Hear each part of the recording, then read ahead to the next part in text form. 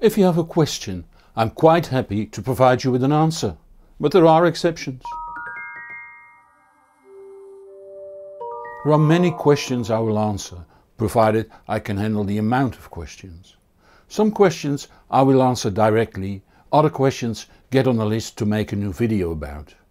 That way a large number of videos were produced, the Auralic Aries Mini, the Hi-Fi Berry Digi Plus 2 Part 2 and the iFi Micro iDAC 2, just to name a few. It might be clear that this can't be done immediately, but if you don't ask, I might not get the idea for that video. There's one kind of questions I really can't answer. What should I buy? Please don't ask me what the best streamer is you can buy.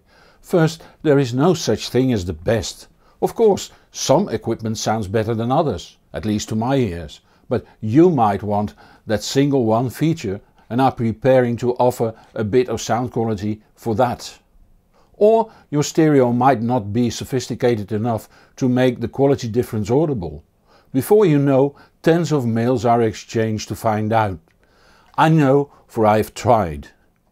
Trying to produce one review a week in an English spoken video with subtitles and in English and Dutch on thehbproject.com is already quite a challenge. So please don't ask me what you should buy. Really I can't afford to answer. Believe me that I do read everything and anything you write to me. I even read almost anything you write about me elsewhere. And where possible I will dream up an answer in the shape of a video. I'm Hans Beekhuyzen for the HB channel. Thank you for watching and see you in the next show or on thehbproject.com. And whatever you do, enjoy the music.